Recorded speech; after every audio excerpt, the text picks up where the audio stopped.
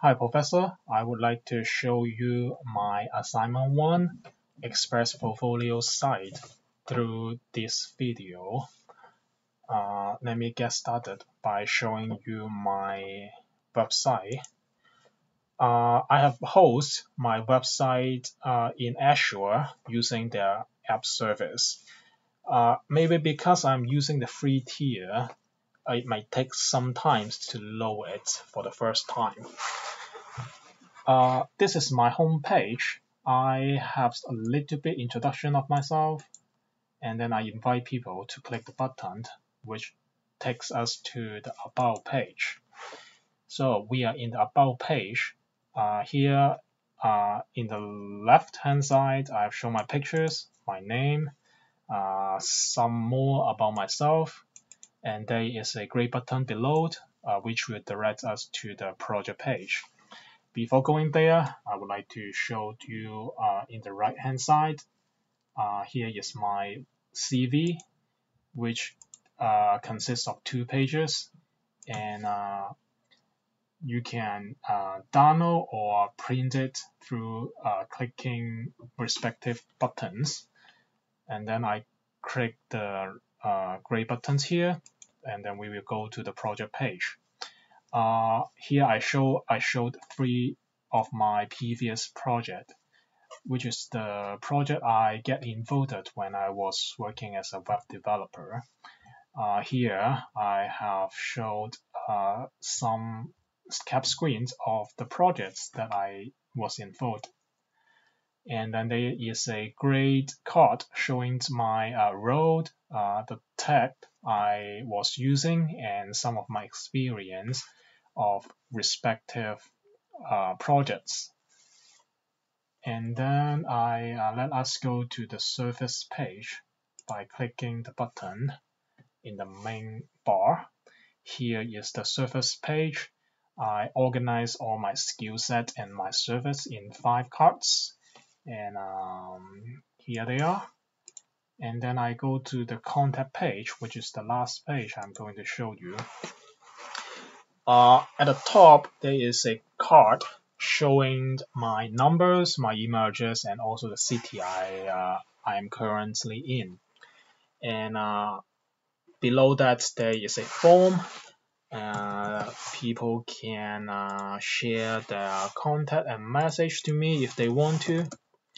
Uh, after clicking the submit button, uh, they will be directed back to the uh, homepage. And then um, there is a thank you message for them. And uh, also their name will be show up.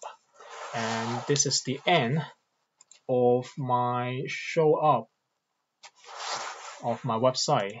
After that I would like to uh, explain a little bit about my code here I would like to talk about the uh, at the very beginnings I import the external modules uh, will be used as a middleware later. And then uh, I import the respective routes. Uh, the first one is more important, the index router. Here we uh, I uh, host all the path related to the web page. As uh, you can see in the website here, uh, every page is uh, a, have a has a corresponding path, and uh, it is done by the index router. So uh, the first thing I'm going to do is to create an app object using the express method. After that, I use app set to set up some uh, environment variables. Here I set up the views and the view engine. This allowed me to use the EJS templates. Uh, all the makeup of the websites I done is not direct uh, HTML. I use EJS instead. And then I use app use to mount the module or the middleware uh, into the app objects. The first one is a logger, and then I have a JSON parser. and then there is a cookie parser.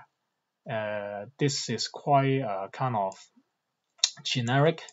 And then I use the express uh, static to expose two folders to the client side.